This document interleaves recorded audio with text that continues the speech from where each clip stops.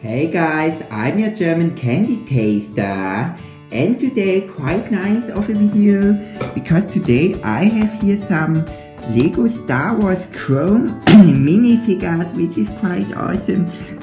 First let me adjust here the camera for you guys, okay. So let me lay them down here so we can see them. So first let's start with the Chrome Stormtrooper. So this is basically, you could get him in, when was it? Let me check. Uh, here is the packaging. I don't know. I don't know, I think back in 2007 kind of thing. So this was in a poly bag here, it came in this bag. And you could get him at um, at the Lego store, at the Lego shop if you buy Lego products for like 100 euros or something or 75 euros and you got him for free. There was no other way to get him or of course from eBay kind of shopping site. So basically this is quite nice but not my favorite one here also chrome minifigs. It's basically like a normal stormtrooper just with chrome here.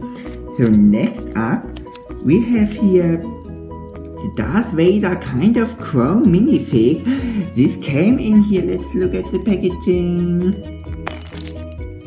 2008 also was given away here at the Legos uh, shop here if you buy something for 75 bucks or something. Let's check. Yeah, he has the same head as all the other Lego Star Wars Darth Vader's. I am your father kind of thing. So basically, this is also quite nice of a chrome figure. I, I am struggling here with my camera, guys. Let me...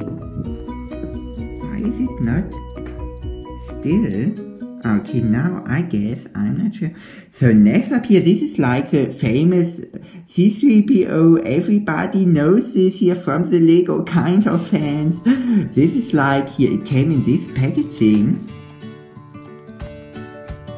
So you could get one of 10,000 limited edition back in 2007 and they were randomly packed to other sets that you could buy from Lego. So you had no possibility to get it. If you spent money you just needed luck, some kind of thing, luck kind of thing. So basically this is also the most expensive ones from these. So if you want to get in, you have to pay a lot of money kind of thing. And here we have the Lego Star Wars TC-14 kind of minifigure which is quite nice because this wasn't there in other form, just the Chrome version.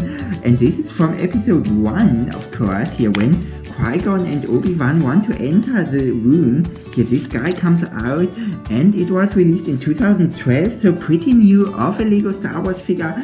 So guys, these are the minifigures here, the chrome ones. Let me know if you like them, what you think about them. Yeah, and please, uh, yeah, give me thumbs up guys, give me thumbs up, I need it. Or thumbs down, I don't know. Okay guys, see you in the next video, bye bye.